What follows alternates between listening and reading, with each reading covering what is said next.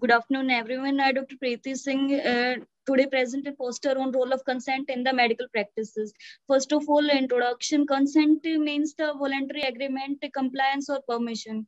Consent signifies acceptance by a person of the consequences on a, of an act that is being carried out.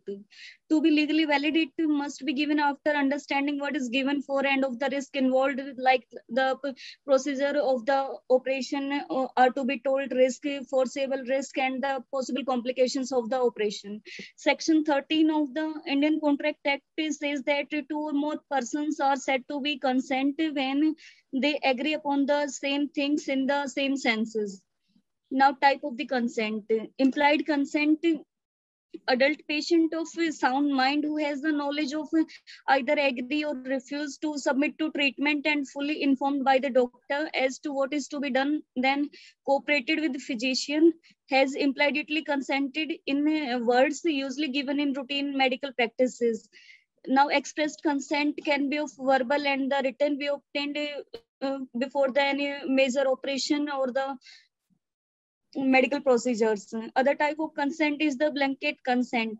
It is one where the doctor takes consent from the patient for any and every possible diagnostic or treatment procedure that might has to be taken undertaken anytime in the future at the time of admission proxy consent or the surrogate consent given in case of the minors given by the parents or the guardians.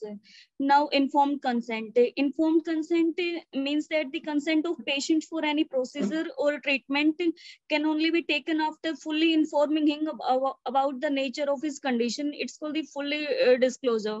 It is the five com uh, component. First of all, it is the disclosure.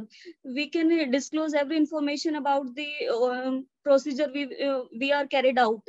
Now, comprehension, the patient understand the all the facts about the uh, procedure. Absence of any outside control like uh, any staff nurse, doctor or anyone cannot force or uh, force the patient to take the decision. Now, competence. Patient is uh, fully uh, competent, sound mind to take the decision. Now, uh, and last is the actual consent. It is taken in the written form about informing all the uh, facts about the uh, procedure. Now, exceptions to the informed consent. In emergency condition, in emergency, everything uh, is to be done in the good faith of the patient is considered to be good faith is valid in the law of court. Therapeutic privilege in the cases of it is the exception of the full disclosure of the patient of the information. In the uh, cases of neuropsychosis and uh, the patient will not be able to tolerate the all information given to him. So we can uh, use this therapeutic privilege to tell the next of the kin inform uh, consent will be taken from the next of the kin and last is the waiving of right by the patient when uh, patient give rights to the doctor that uh, whatever you should do in the good faith is uh, good. Now important points about the consent. Under section 53 crpc consent for examination of an arrested person at a police request is not necessary. A registered medical practitioner can examine such person even by using reasonable force if the examination is requested by a police officer not below the rank of a sub-inspector. Whenever a female is to be examined under this, this section, the examination shall be made only by or under the supervision of a female registered practitioner.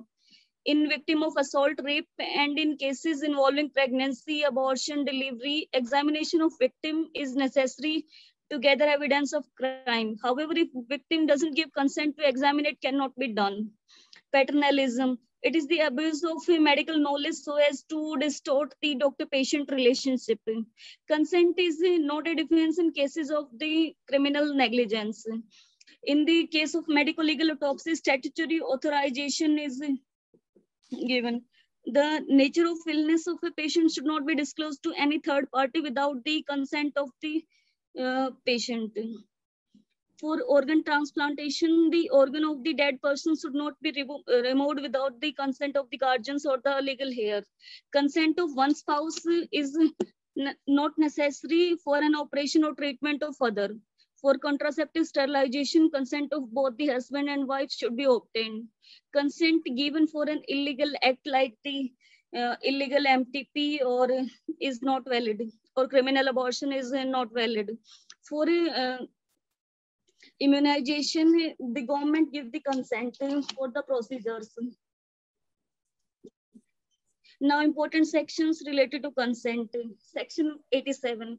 A person above the age of 18 years can give the valid consent to suffer any harm for the risky, uh, uh, risky procedures.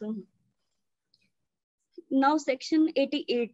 In this, the person can give valid consent to suffer any harm which result from an act not intended to, to or not known to cause in done in the good faith or for its benefits.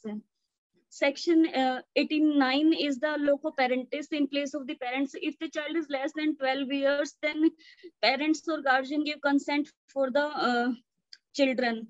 And if parent or guardian is not available, like in the hostels, then the headmaster or the teachers accompanying the children give the consent. In section 90, consent given in fear or misunderstanding of the fact is not valid. Section 92 is the any harm which is caused to a person in good faith, even without that person person's consent is not an offense if the circumstances are such that it is impossible for a person to signify the consent. Section 93 is that any communication made in good faith for the benefit of a person is not an offense. Now discussion informed consent can be sought and obtained in two different senses, each with different implication. The first is the legal sense in which authorization for the professional to act implies that the patient has a reasonable understanding of the procedure and its consequences.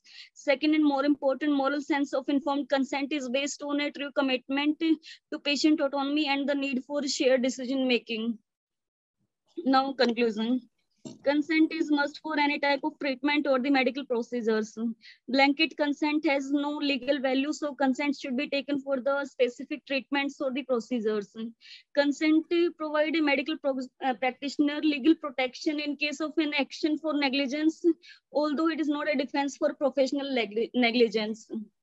Uh, now some suggestions uh, take consent in the vernacular language and should be in on handwriting of the patient or next of the kin to avoid the legal suits.